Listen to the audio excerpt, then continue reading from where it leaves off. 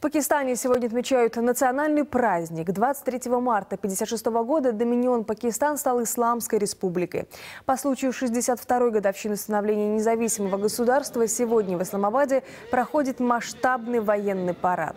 По всей стране торжественные мероприятия, концерты, народные гуляния. С Днем Пакистана президента Исламской республики Мамнуна Хусейн и народ этой страны поздравил глава белорусского государства Александр Лукашенко.